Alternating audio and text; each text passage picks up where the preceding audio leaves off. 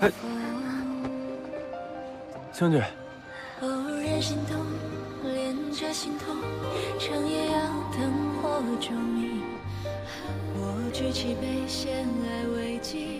这还是我们那个清高冷峻的万将军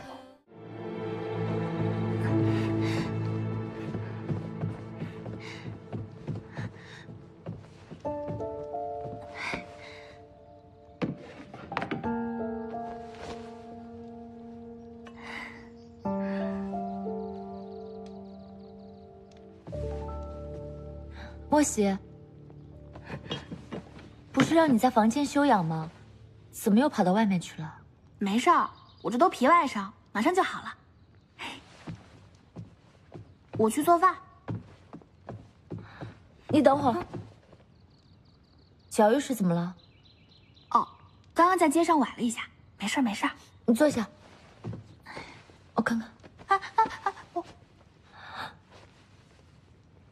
这么一大块淤青，你怎么这么不让人省心啊？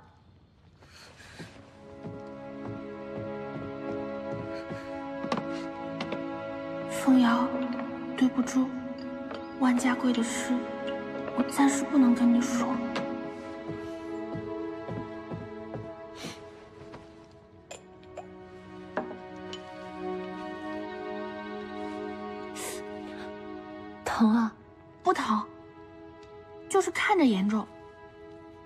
没什么事儿，歇几天就好了。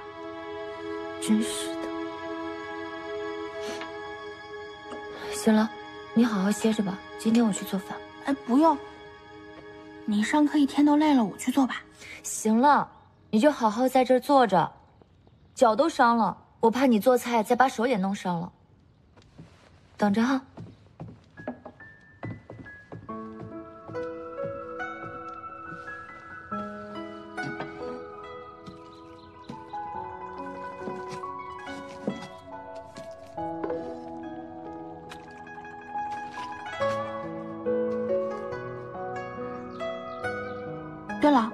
女学那边怎么样了？血管这一次真是损失惨重，藏书阁那边进了刺客，到处都是血迹，连我们注射楼都未能幸免。整个一楼到处都是焦灰，林林总总的修缮加重建需要一大笔钱，但血管现在已经是内里虚空，捉襟见肘了。铁光图已经被拿走了。想必侯爷不会再来此地替皇帝尽孝了。再加上冯嫣贩卖名额、作假代考的事情传出去了，学馆的名声也是坏了。想必他们也不会出钱。你和莫姐姐想要修缮学馆，怕是难上加难了。我也知事情如此，没什么好抱怨的。但是我一想到莫姐姐现在搬到了山长进士，那里到处都是冯嫣的遗物，我怕她恨屋及乌。看到之后会更加的生气难过，我们还是得加紧修缮好注射，让他赶紧搬过来。嗯。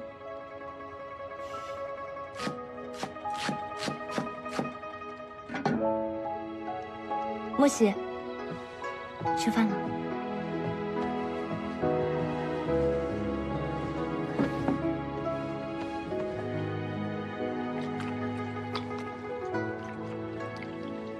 你怎么不问我？为何不依照先前之约，同你一块离开庆州？你一心扑在女学，就知道圈不住，为何要问？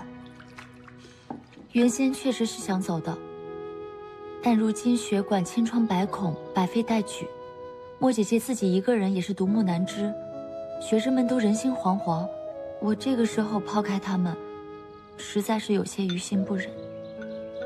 你呀，就是心太善了，什么事儿都好操心。也不尽然啊，毕竟我们线下真的是无处可去。原先是因为女学馆在冯嫣的辖下，我们不得不走。但现如今，虽然说学馆的费用拮据，又无人撑腰，但总算是不像原先那样乌烟瘴气，也没有人算计我们了。所以虽然束修微薄，但总算是个正经差事。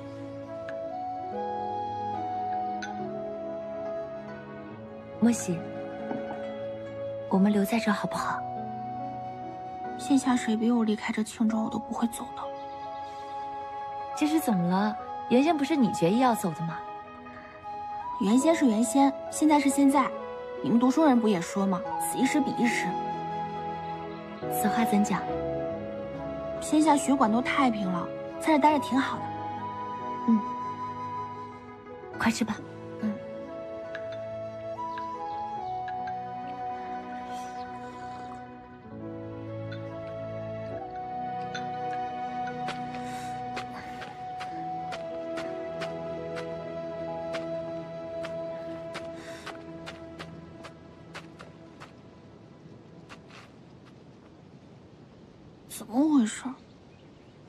他难道忘了约定之事？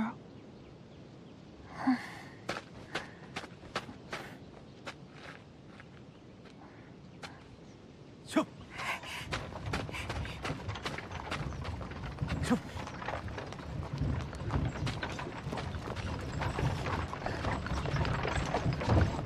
莫西娘子，是你们将军派你来接我的吧？娘子果然料事如神，我们上车吧。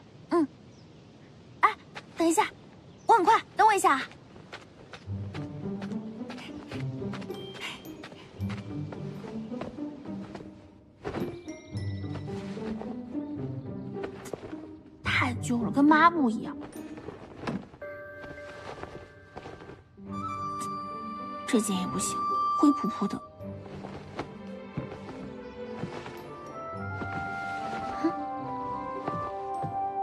这是什么？莫喜，你怎么把衣服翻的到处都是啊？这衣服是哪来的？这是我亲手做的，本来想给你个惊喜，谁知道全都被你翻出来了。那既然拿出来了，你赶紧穿上看看合不合身。嗯。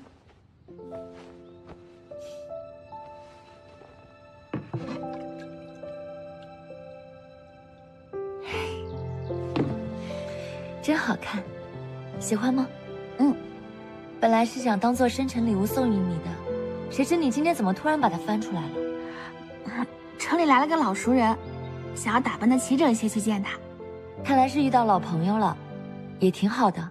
在这青州城里面，我们举目无亲，你整天又闷在房间里洗衣做饭，真是难熬。多去见些朋友，交些志同道合的人也挺好的。所谓。窈窕淑女，君子好逑。你要去见的，该不会是一个俊美的少年郎吧？你别胡说。倒是你，没有什么纨绔子弟来纠缠你吧？你莫要胡言。没有就好。那我先出去了。如果我遇到什么才貌仙郎，肯定好好帮你留意。莫喜，你真是鬼精鬼精的，嘴皮子半点不饶人。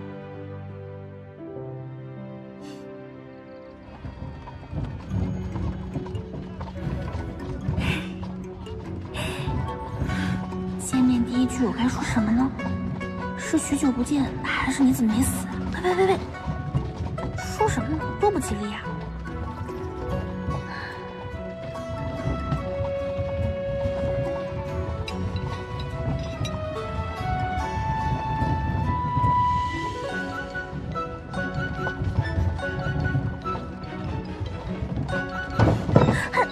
恭喜娘子，我们到了。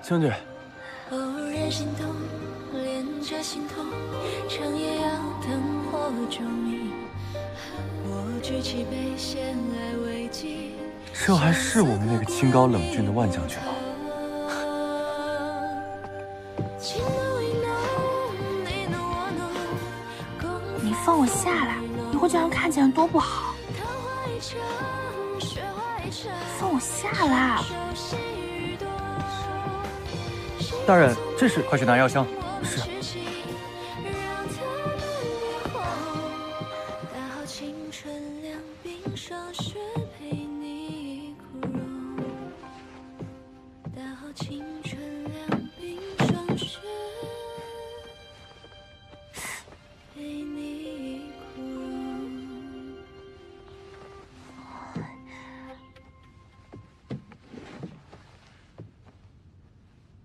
你干嘛？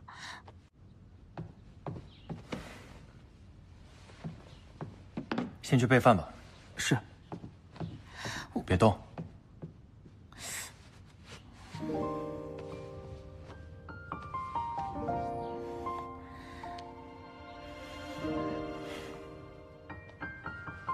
这脚踝肿的厉害，是昨日摔着了吗？没事儿，我不小心扭到了一下。不用这么大惊小怪的。为何这般不动心？疼吗？不疼，我不怕疼的，你忘了？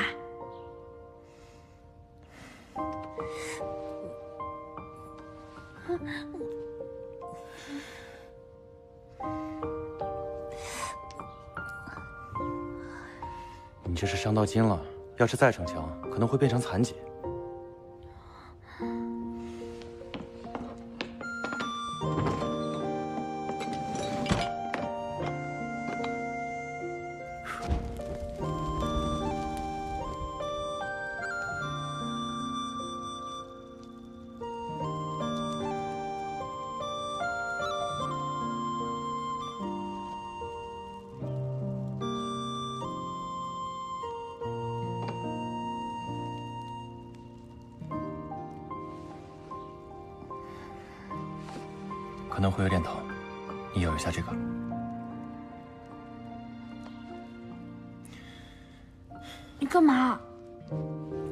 淤血放出来。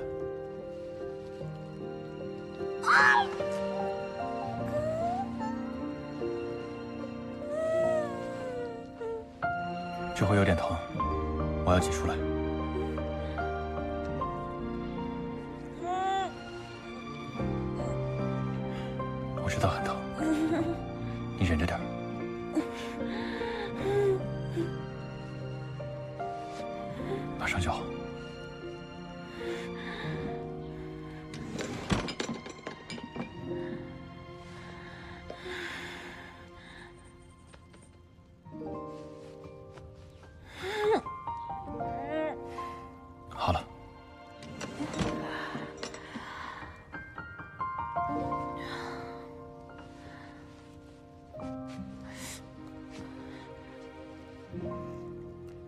应该可以了。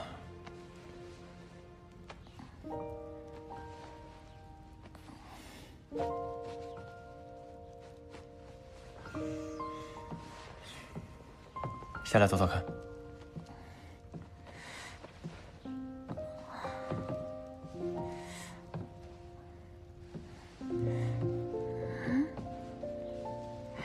果然好多了。你从哪儿学来的？从一位深山里的游医那儿学的。那你消失这么久，就是去学医了？一言难尽，先用饭吧。用饭之时，再慢慢说给你听。嗯。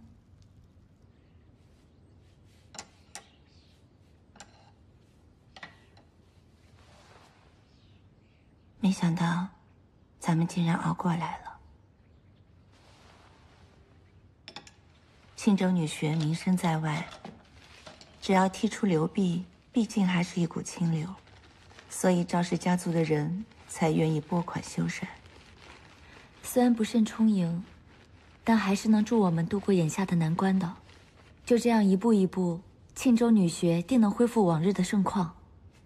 只是束修不如往日了，估计会有一些先生受不了辛苦而离去吧。但我眼下最担心的，却是另外一桩。另外一桩，还有比咱们遇到的事情更麻烦的事吗？此次血管之乱，皆是因为那张铁矿图。现在铁矿图不但被文先生抢走了，还弄得整个庆州人尽皆知。恐怕庆州不会太平吧？你的意思是？这张铁矿图可不是拿来赏玩的，上面标有铁矿的位置，只要有铁矿便能铸造兵器。现在庆州乃是兵家必争之地，我怕庆州会因此多灾多难。不过，也不必过于忧虑吧。听说朝廷给咱们庆州派来一位新的镇守将军，此将军不仅年轻有为，足智多谋，还英勇善战。听说，还是光复荆州城的功臣呢。朝廷竟有如此龙象之才，不光如此，传说中这位将军还长得十分英俊，玉树临风。不知姓甚名谁？好像是叫万家贵。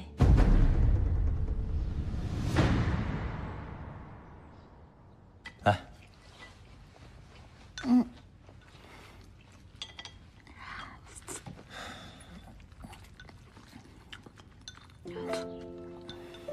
你多久没饱餐过了？倒也不是吃不饱，就是我跟凤瑶手里实在没什么钱，吃的东西没有油水，伙食太差，我吃菜叶子吃的面色发青。你慢点吃，都是你的，没人跟你抢。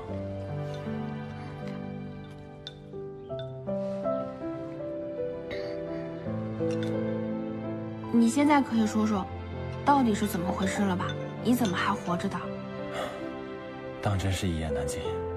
当日我奉命带兵前往漠北易手，途经关中州时，遭遇了土匪伏击。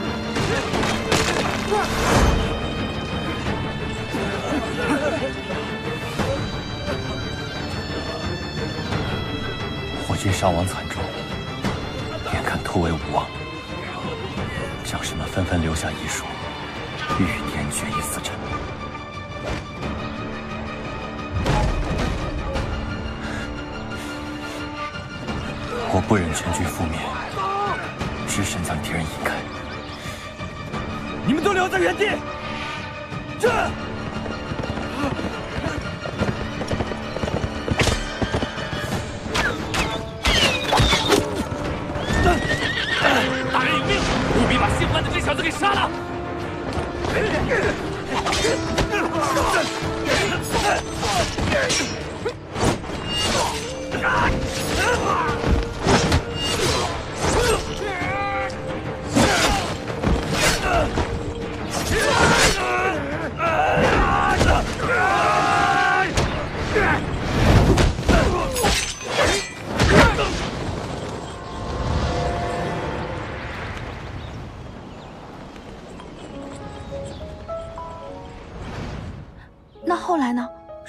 你？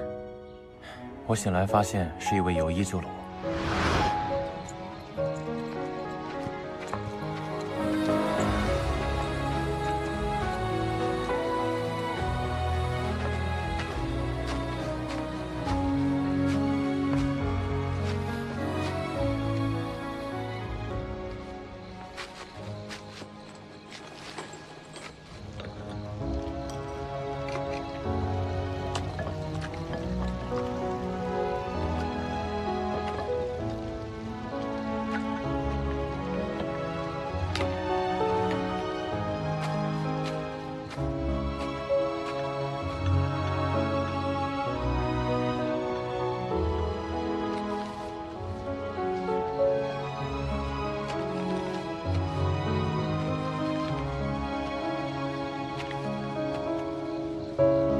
他对医术很有研究将我全身上下敷上药后伤口开始慢慢愈合。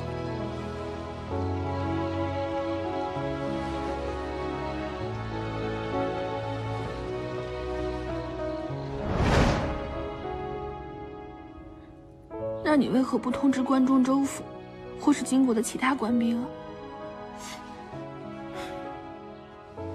我也是归心似箭当时伤口尚未痊愈，囊中用纱布帮我包成个布袋一般，挂在马背上，四处游荡，不能写字，不能作声。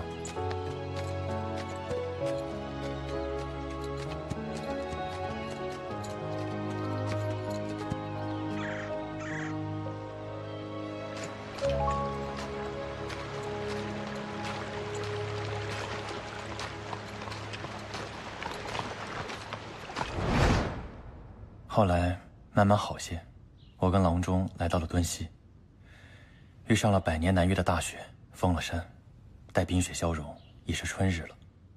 我便这样过了半年。那些土匪不会无缘无故袭击我们，我怀疑他们是受人指使的，但时隔已久，也无从查究了。如今你死而复生，朝廷也该恢复你的官职跟名分了吧？他们将我的牌位从英烈祠里撤了出来，楚将军也亲自来为我接风，对我宽慰有加。但此役毕竟是全军覆没，公务算是办砸了。所以你来庆州是为了将功补过？来此布防，的确是为了将功补过。朝廷来庆州布防是要打仗吗？有这个可能。跟谁打？金国有几个刺史。对朝廷首属两端，他们彼此之间又合纵连横的，而且据说庆州地下有铁矿，他们垂涎已久，岂有不动心的道理？只是不知谁会先动手，也许是萧不语，又或者是那个秀州刺史胡简，也有可能是那个名声鹊起的陈文德。那你驻扎在庆州岂不是很危险？为武将者，令行禁止，自乃天职。况且朝廷的军队不止我这一支，我不过是来打头阵的。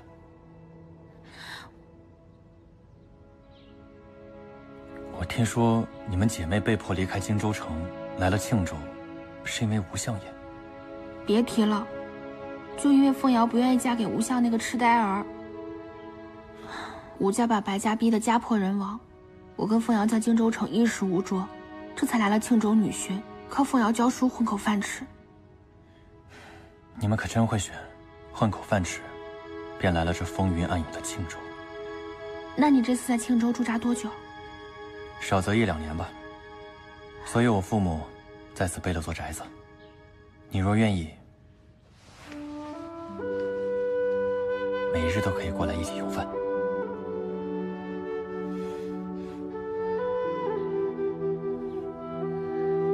我算你哪个牌面上的人啊？要是每日过来。岂不是引得别人议论纷纷？我们之前有个约定，等我回来后。那是我说的，但你头也不回的往漠北去了。现在又旧事重提，莫非是你改变心意了？我经历关中之役，侥幸生还。我深感人生无常，需倍加珍惜。当为不为，会更加后悔。所以我想问你，那时的诺言，还算数吗？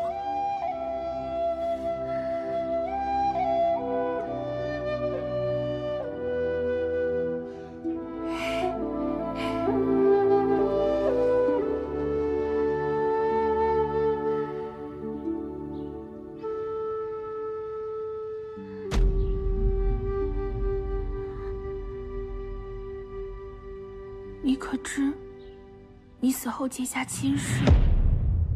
什么？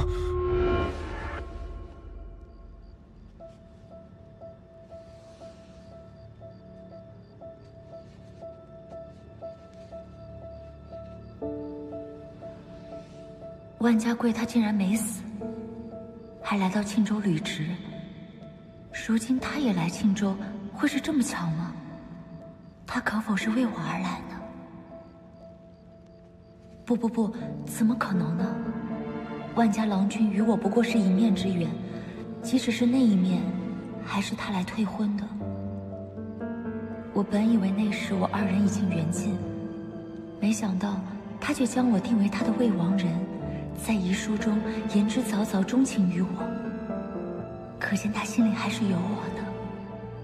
但若真是如此，他为何不及早来告知我他尚在人间？他这般迟迟不来，到底是何用意呢？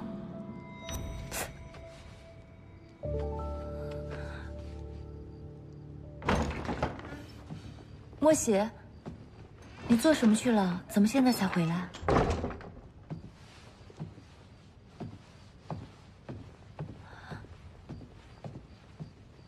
莫喜，你怎么了？你吃酒啦？我没吃酒，就是吃的有点撑了。先睡吧，有事明天再说。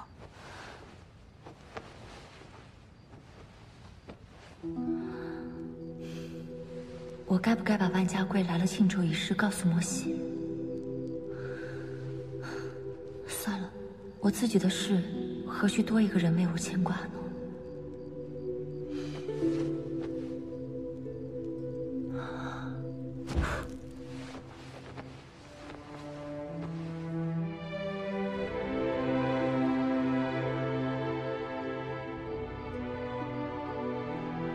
你可知你死后结下亲事？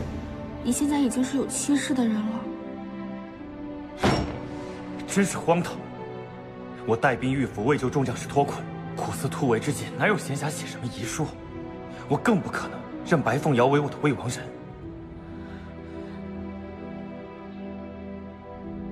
你可知其中内情？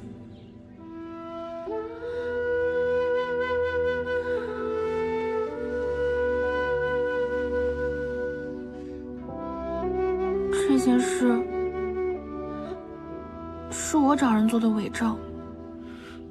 那所谓的定情信物，我给你的那块玉佩，其实是凤瑶的。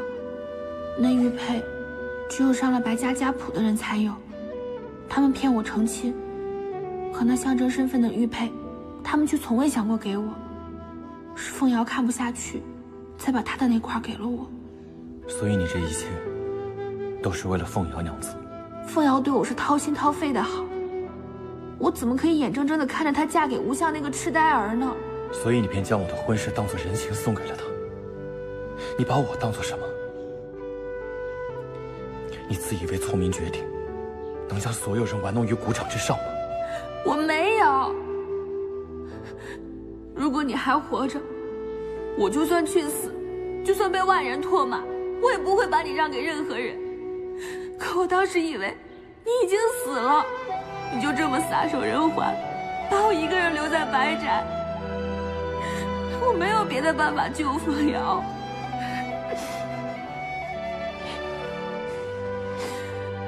所以我只能让他得到你遗孀的诰命跟名分，吴相才不能逼迫他。我看到他冠了你的姓氏，我心里很是嫉妒，从来没有想过把你让给他，只要你还有一口气在。你少声些，别让人听到。我就大声怎么了？这事我现在后悔了，死人的名分跟财宝我都可以给凤瑶，但你现在是个大活人，我绝对不让。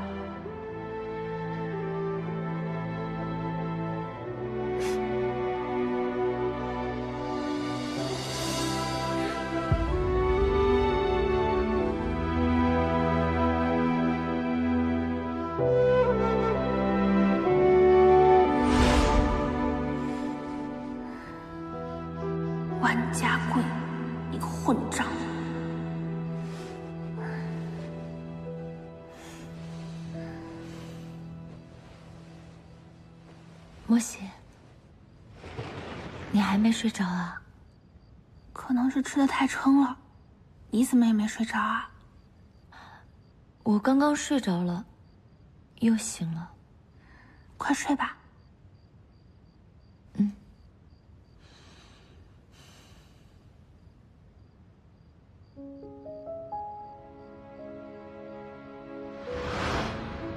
我与凤阳娘子的婚事不过是一场误会，你赶紧去找她说清楚，不然我只能亲自去跟他澄清了。